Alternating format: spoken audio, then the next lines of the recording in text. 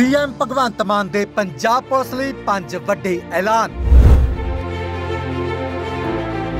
Punjab police ਨੂੰ ਬਣਾਇਆ ਜਾਵੇਗਾ ਦੇਸ਼ ਦੀ ਨੰਬਰ 1 ਪੁਲਿਸ। ਪੰਜਾਬ ਪੁਲਿਸ 'ਚ ਹੁਣ ਹੋਣਗੀਆਂ ਭਰਤੀਆਂ ਹੀ ਭਰਤੀਆਂ। ਸੀਐਮ ਭਗਵੰਤ ਮਾਨ ਨੇ ਟ੍ਰੇਨਿੰਗ ਪੂਰੀ ਕਰ ਚੁੱਕੇ 2999 ਕਾਂਸਟੇਬਲਾਂ ਦੀ ਪਾਸਿੰਗ ਆਊਟ ਪਰੇਡ ਦੌਰਾਨ ਜਲੰਧਰ 'ਚ ਸ਼ਿਰਕਤ ਕੀਤੀ ਤੇ ਸਾਰਿਆਂ ਨੂੰ ਵਧਾਈਆਂ ਤੇ ਸ਼ੁਭਕਾਮਨਾਵਾਂ ਵੀ ਦਿੱਤੀਆਂ। ਇਸ ਦੌਰਾਨ ਉਹਨਾਂ ਨਾਲ ਪੰਜਾਬ ਦੇ ਡੀਜੀਪੀ ਤੇ ਹੋਰ ਪੰਜਾਬ ਪੁਲਿਸ ਦੇ ਵੱਡੇ ਅਧਿਕਾਰੀ ਮੌਜੂਦ ਸਨ ਤੇ ਉਹਨਾਂ ਕਿਹਾ ਕਿ ਪੰਜਾਬ ਤੇ ਪੰਜਾਬੀਆਂ ਦੀ ਸੁਰੱਖਿਆ ਲਈ ਪੰਜਾਬ ਪੁਲਿਸ ਹਰ ਪੱਖੋਂ ਵਚਨਬੱਧ ਹੈ। ਤੁਹਾਨੂੰ ਇਹ ਵੀ ਦੱਸ ਦਈਏ, ਇਸ ਮੌਕੇ ਮੁੱਖ ਮੰਤਰੀ ਭਗਵੰਤ ਮਾਨ ਨੇ ਪੰਜਾਬ ਪੁਲਿਸ ਲਈ ਕੁਝ ਵੱਡੇ ਐਲਾਨ ਕੀਤੇ ਨੇ। ਪੰਜਾਬ ਦੇ ਮੁੱਖ ਮੰਤਰੀ ਭਗਵੰਤ ਮਾਨ ਨੇ ਪੰਜਾਬ ਪੁਲਿਸ ਨੂੰ ਮੁਲਕ ਦੀ ਅਵਲ ਦਰਜੇ ਦੀ ਫੋਰਸ ਬਣਾਉਣ ਲਈ ਇਸ ਦੀ ਕਾਰਜਕੁਸ਼ਲਤਾ ਵਿੱਚ ਵਾਧਾ ਕਰਨ ਵਾਸਤੇ ਆਰਟੀਫੀਸ਼ੀਅਲ ਇੰਟੈਲੀਜੈਂਸ ਯਾਨੀ ਕਿ AI ਨੂੰ ਸ਼ਾਮਲ ਕਰਨ ਦਾ ਫੈਸਲਾ ਵੀ ਕੀਤਾ ਹੈ। ਉਹਨਾਂ ਕਿਹਾ ਕਿ ਆਰਟੀਫੀਸ਼ੀਅਲ ਇੰਟੈਲੀਜੈਂਸ ਦੀ ਵਰਤੋਂ ਦੇ ਮਾਮਲੇ 'ਚ ਪੰਜਾਬ ਨੂੰ ਮੋਹਰੀ ਸੂਬਾ ਬਣਾਉਣ ਦੇ ਉਦੇਸ਼ ਨਾਲ ਇਹ ਫੈਸਲਾ ਲਿਆ ਗਿਆ ਹੈ, ਜਿਸ ਨਾਲ ਸੂਬੇ ਵਿੱਚ ਅਮਨ ਤੇ ਕਾਨੂੰਨ ਦੀ ਸਥਿਤੀ ਨੂੰ ਬਰਕਰਾਰ ਰੱਖਣ 'ਚ ਮਦਦ ਮਿਲੇਗੀ। ਉਹਨਾਂ ਕਿਹਾ ਕਿ ਇਹ ਕਦਮ ਪੁਲਿਸ ਫੋਰਸ ਨੂੰ ਵਿਗਿਆਨਿਕ ਲੀਹਾਂ ਉੱਤੇ ਢਾਲਣ ਦੀ ਦਿਸ਼ਾ 'ਚ ਮੀਲ ਦਾ ਪੱਥਰ ਸਾਬਤ ਹੋਏਗਾ।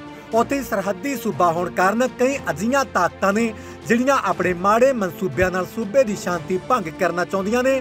ਪਰ ਪੰਜਾਬ ਪੁਲਿਸ ਨੇ ਹਮੇਸ਼ਾ ਅਜੀਆਂ ਤਾਕਤਾਂ ਦੀਆਂ ਮਾੜੀਆਂ ਕੋਸ਼ਿਸ਼ਾਂ ਨੂੰ ਕਾਮਯਾਬ ਨਹੀਂ ਹੋਣ ਦਿੱਤਾ। ਉਹਨਾਂ ਕਿਹਾ ਕਿ ਸੂਬੇ ਨੂੰ ਦਰਪੇਸ਼ ਚੁਣੌਤੀਆਂ ਉੱਤੇ ਕਾਬੂ ਪਾਉਣ ਲਈ ਪੰਜਾਬ ਪੁਲਿਸ ਨੂੰ ਪੜਤਾਲ, ਸਾਇੰਸ ਤੇ ਟੈਕਨੋਲੋਜੀ ਦੇ ਖੇਤਰ 'ਚ ਆਧੁਨਿਕ ਲੋੜਾਂ ਮੁਤਾਬਕ ਢਾਲਣ ਦੀ ਲੋੜ ਹੈ ਤੇ ਇਸ ਖੇਤਰ 'ਚ ਕਦਮ ਚੱਕੇ ਜਾ ਰਹੇ ਨੇ।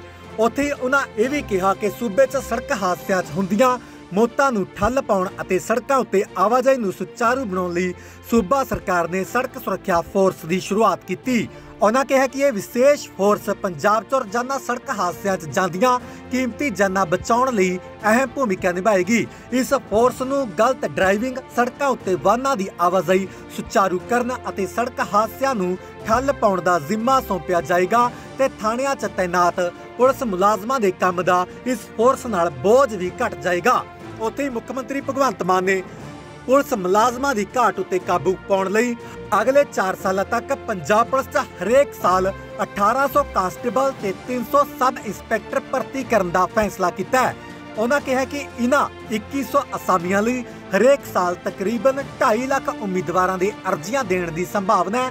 ਇਹਨਾਂ ਸੰਭਾਵੀ ਉਮੀਦਵਾਰਾਂ ਨੂੰ ਆਪਣੀ ਵਿਦਿਅਕ ਯੋਗਤਾ ਦੇ ਨਾਲ-ਨਾਲ ਸਰੀਰਕ ਯੋਗਤਾ ਵਿੱਚ ਸੁਧਾਰ ਦਾ ਮੌਕਾ ਦੇਣ ਲਈ ਭਰਤੀ ਦਾ ਫੈਸਲਾ ਪਹਿਲਾਂ ਹੀ ਕਰ ਲਿਆ ਗਿਆ ਹੈ। ਮੁੱਖ ਮੰਤਰੀ ਨੇ ਇਹ ਵੀ ਐਲਾਨ ਕੀਤਾ ਕਿ ਸੂਬਾ ਸਰਕਾਰ ਪੰਜਾਬ ਪੁਲਿਸ ਦੇ ਖੇਡ ਤੇ ਤਕਨੀਕੀ ਕੇਡਰ ਵਿੱਚ ਵਾਧਾ ਕਰਨ ਲਈ ਜਲਦੀ ਵੱਡੀ ਭਰਤੀ ਮੁਹਿੰਮ ਸ਼ੁਰੂ ਕਰੇਗੀ।